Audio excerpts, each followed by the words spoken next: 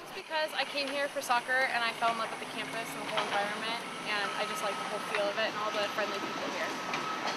Um, I don't know, I heard it was like a big college and stuff, so I just Um, well, I knew a lot of people who came here and they said that it's like great people, great community, you know, like the community revolves around it and they really like try to be one, and they're just cool with each other.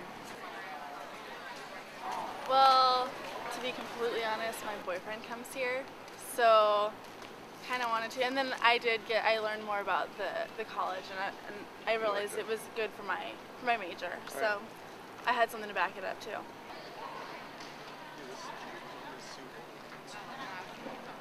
Um, hopefully to meet a lot of new people and to maybe come to senses on my major or what I'm interested in.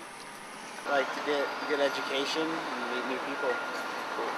To have a lot of problems in class and um, to make a lot of new friends